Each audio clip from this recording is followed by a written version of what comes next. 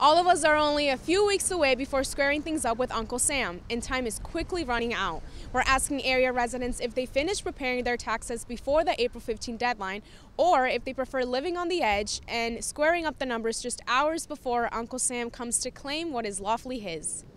You should do your taxes as soon as possible. Everybody wants money. I filed my taxes at about March 20th or so because I have to wait for all the forms to come in because some of them always end up coming in late. But if I wait till the last minute, I'm always afraid I'm going to mess something up.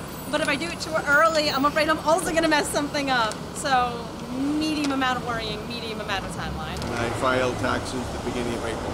By the time my uh, accountant uh, worked with me on completing the tax forms. And I have a lot going on, so I want to try and get them done in next weekend or the weekend after. But I don't always do it. I usually get it in on time though. I mean, it's you know last minute, but hysterics.